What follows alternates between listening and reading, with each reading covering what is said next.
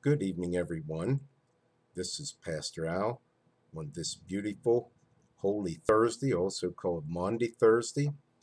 Uh, I want to greet you all in the name of Jesus as we celebrate together the Lord's Supper. Most people traditionally believe that Jesus did this on Thursday evening, and so that's why I chose to do it now.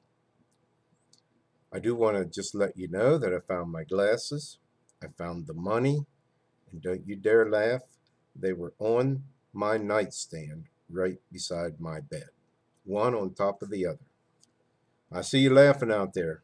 Well, anyway, it's good to have some fun. Someone asked me if I had my glasses up over my head. Uh, I didn't, but uh, all things are possible, even some humorous things the more serious situation of people running from God uh, has not been rectified, and that will take much prayer as I pray for those people and as you pray for those people in your life. Also, I've been trying to call some of you. I just want you to know that if you don't have my name in your contacts, it comes up as a Mechanicsburg number. And I just want you to know that I'm not a telemarketer, I'm just a televisitor. Let's pray. Lord Jesus, we thank you for this beautiful day. We ask you to enable us with our imaginations to go back some 2,000 years ago to the time when Jesus went through some of the greatest suffering, probably the greatest suffering that any human being has ever gone through.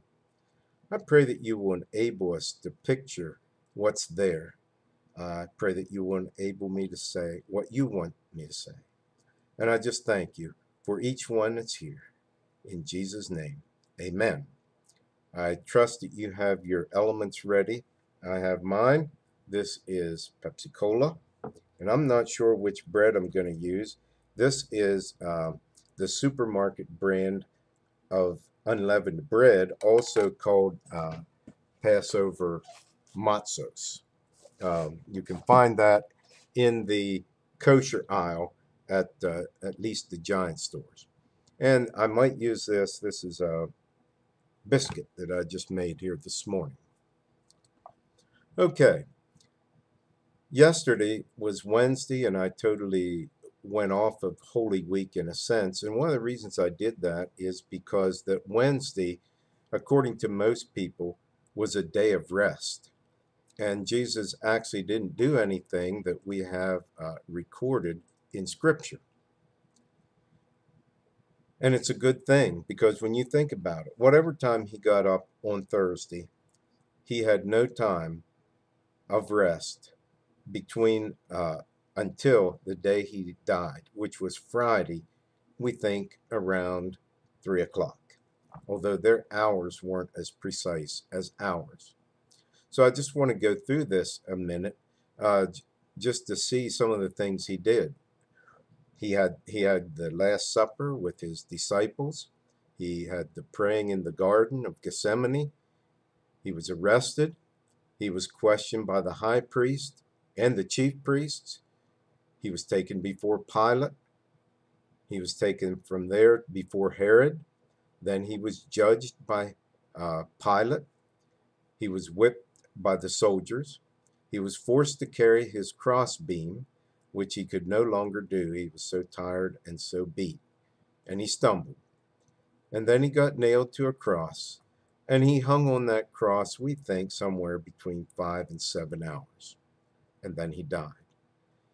I don't know about you, but the thought of all that makes me uh, doing all that, going through all of that without sleep, makes me tired and almost dizzy. And so we can understand Jesus' exhaustion, why he didn't even come close to carrying his uh, cross, his cross, the cross beam. Today I want to look at Luke chapter 22, verse 14, with some comments as we go through this, but we'll do the communion part as we go through. It says in verse 14, When the hour came, Jesus and his apostles reclined at the table. And he said to them, I have eagerly desired to eat this Passover with you before I suffer. For I tell you, I will not eat it again until it finds fulfillment in the kingdom of God. After taking the cup, he gave thanks and said, Take this and divide it among you. For I tell you, I will not drink it again. Uh, of this this fruit of the vine, I will not drink again until the kingdom of God comes. And so uh, we believe that he was referring to the Passover. He would never do another celebration like that until the the uh, wedding of the church and Jesus as the groom, us as the bride in heaven. Found, I believe, in Revelation 22. Now, this was either the first or the second cup of wine at the ceremony. Actually, there were four. Um, the usual explanation by Jews for drinking four cups of wine at the Seder, as it's called, cites these four things from Exodus 6, 6, and 7.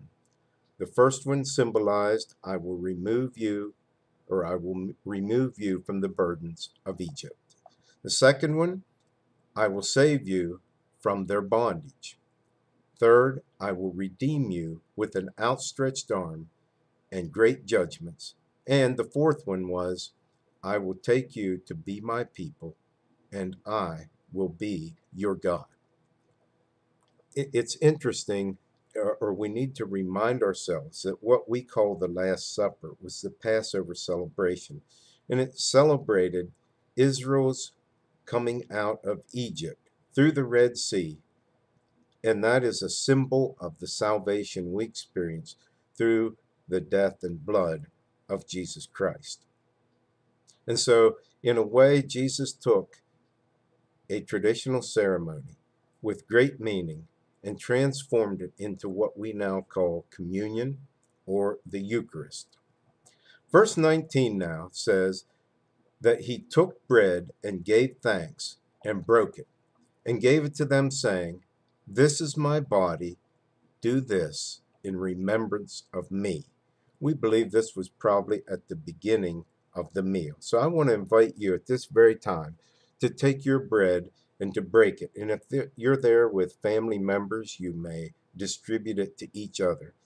After which, uh, I will answer a prayer. So let's uh, break our bread and then let's eat some and think about all that happened to Jesus' body the, the scourging, the being pierced with a sword after he died, the nails going through the hands.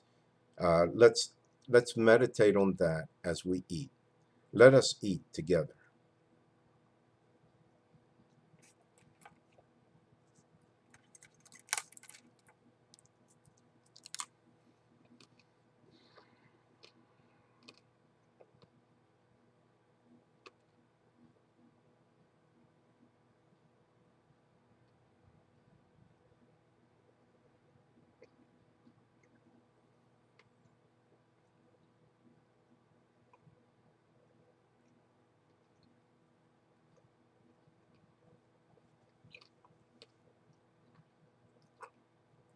Let's pray and thank Jesus for all that he did to for us.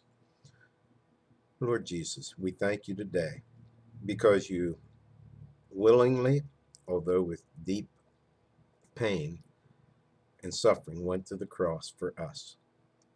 You suffered the beating, you suffered the questioning, you suffered the nails through your hands and feet. So, Lord, um, it's hard for us to picture, but we try to picture that in our minds. And thank you for being willing to do it in our place. In Jesus' name we pray. Amen. Let's continue through this story.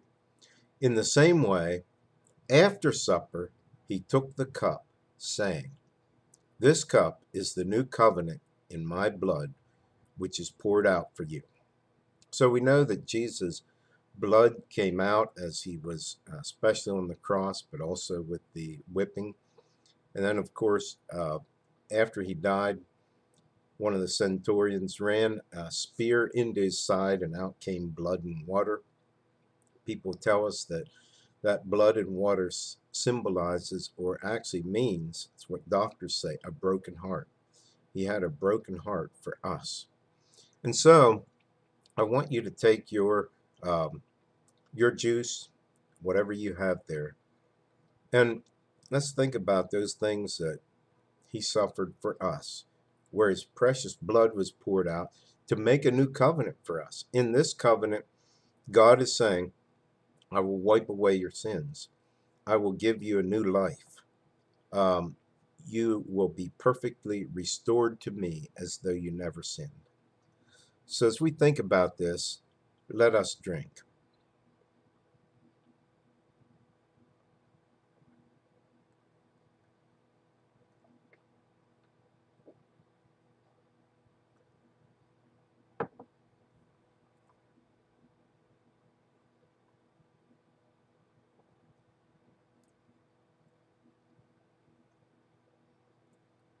Let's pray. Lord Jesus, again, we thank you because you were willing, because you went through all this for my sin, for the sins of the whole world, it says in another gospel. Lord, we, we just thank you for that so much. We thank you that we can be in right relationship for you, with you. And we also pray at this time for those who are not yet there. We ask you, Lord, that your blood would not be spilt in vain for those people. And we ask you to draw them by the Holy Spirit. We ask you to draw them to yourself. We give you praise in Jesus' name. Amen. John supplies a uh, another detail about this. In fact, back in Luke it says, But the hand of him who is going to betray me is with mine on the table. The Son of Man will go as it has been decreed, but woe to that man who betrays him. And then John gives us more details. John 13, 21. Jesus was troubled in spirit and testified, I tell you the truth one of you is going to betray me. His disciples looked around and they stared at each other, at a loss to know which of them he meant. One of them, the disciple whom Jesus loved, that was John, was reclining next to him. Simon Peter motioned to this disciple and said, Ask him which one he means. Leaning back against Jesus, he asked him, Lord, who is it? Jesus answered, It is the one to whom I give this piece of bread when I have dipped it in the dish.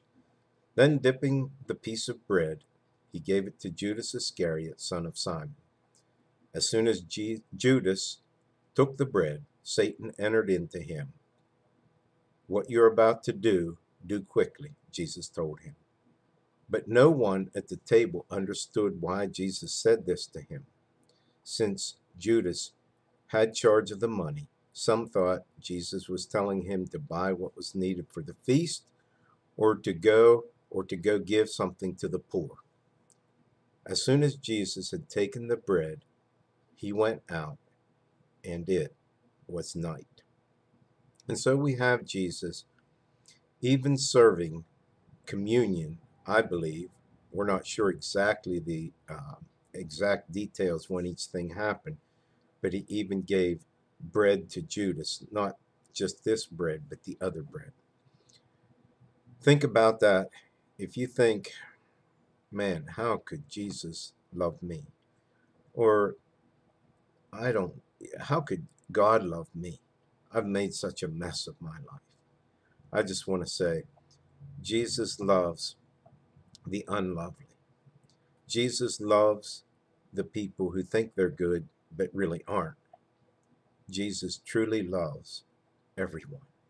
And I invite you to come to Him in prayer and give yourself to Him. Let us pray. Lord Jesus, Today, what else could we do but thank you?